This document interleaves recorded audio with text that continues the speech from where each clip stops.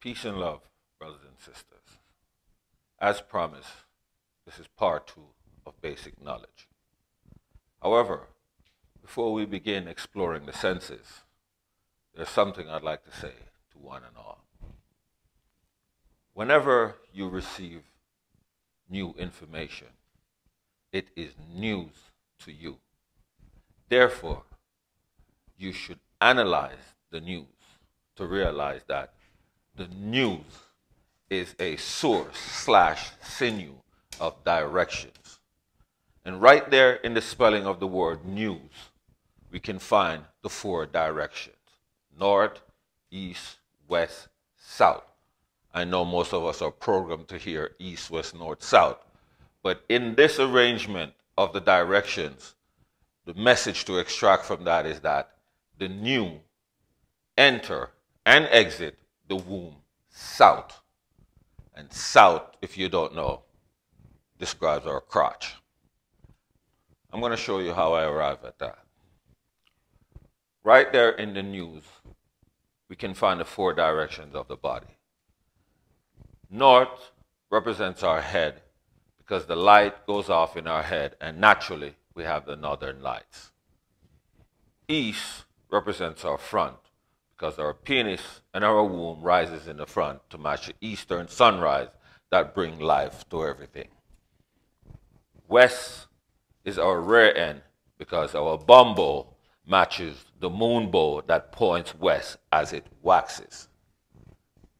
South is our crotch. And when they say your thoughts go south, it goes south to the point where we cross over from body to body in conception and then back over at birth. And naturally, we have the Southern Cross. As promised, let's see how our five senses work in harmony with the five elements. And as I stated previously, I realized that most people can only identify four of the five elements, and those are earth, water, wind, and fire. So let's proceed. We see sunlight. We smell or breathe air. We taste the water and we touch the earth. But most people can't tell you which element match up with our hearing. And it's simple. It's darkness.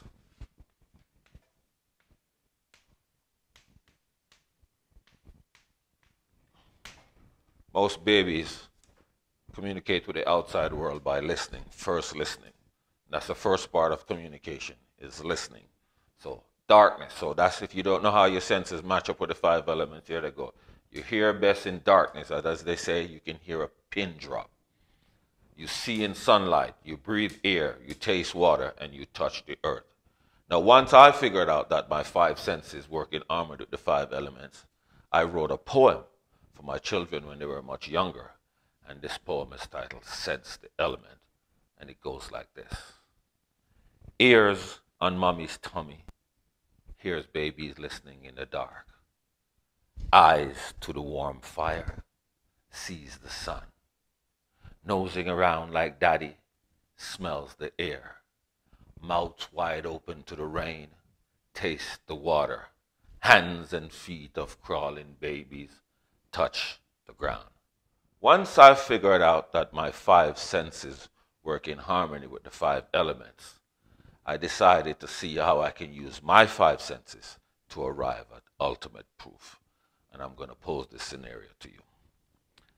Say you were visiting my house, and upon approaching the door, you smelled fish, as if I was frying fish or something.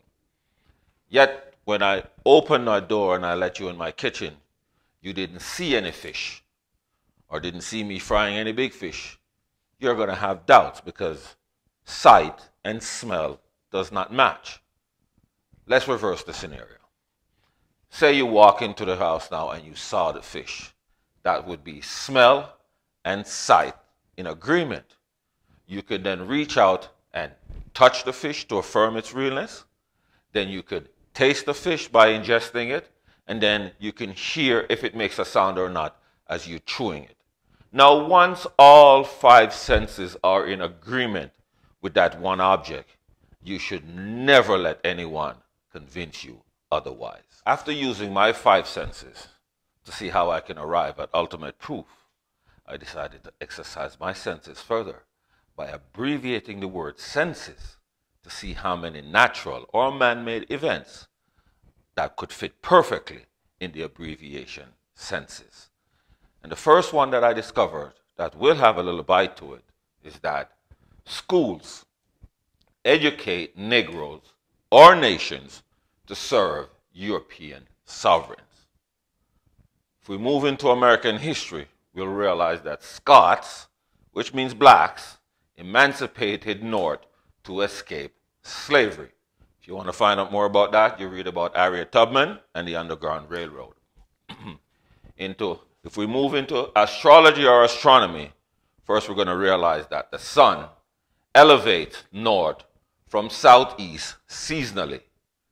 And I move further into the cosmos, and cosmos means world order. I discover that Sambo, which is the new moon and its new crescent, expose the new being in the southeast skies. Once I was able to fit the fact that Sambo moon exposed the new being in the southeast skies, I also remembered that the moon is our closest neighbor. And I was curious with the word neighbor, and I wanted to see how they derive at the word neighbor. So went out and I studied the moon and noticed that the new moon is Negro. It is nigh, meaning it is close to the earth, our closest neighbor, and it bears its hood in 14 nights. Thus, you take the word ni, two letters ni from Negro, IGH from nigh, past tense of bear is bore, and hood remains the same. Thus, you create the word neighborhood. We were also commanded biblically to love thy neighbor as we do ourselves. Simply because there is an image, we told that there was an image of man in the moon, instead of being told that there's an ultrasound image of life in the moon to represent life in the womb. If you know what to look for when you look at the moon, the Egyptians also represented as a God seated being. we were also told about the hunchback of Notre Dame and the main character, Quasimodo. And to break that all down, quasi meaning to mimic or be like, and modo meaning what the moon does. And the word natural means hour, and dame mean lady. So in fact, it all says we must mimic what the moon do to create a hunchback baby in our lady. the moon transformed into a, from black into a silver ball, and thus it went on to inspire the city of Transylvania. We were also told that the full moon turns people into werewolf instead of being told that the moon makes people become aware like wolves who howl at the moon. And without overbearing you with too much information about the moon, I am going to leave you with these vital moon names I would like you to check out before our next shared enlightenment. And these names are Ah, AH, which is an ancient name for the moon. And you know that is. Uh, we use the word ah whenever you're surprised or you're enlightened by something, you tend to say ah. The next Egyptian name is Amos, and it means born of the moon. The last part of that is how the name Moses came about. The next name is Iah, I-A-H, another ancient moon name. From that we have Jah, another ancient moon name, Ya. We also have O-B-R. Notice at the end of each name, the letter R, retaining the moon name. Then we have Messiah. And last but not least, we have the word that most Christians shout in churches, hallelujah, which just simply mean, in translation, praise be the moon. Until our next shared enlightenment, please give this video a thumbs up, share, comment, and subscribe. Peace and love.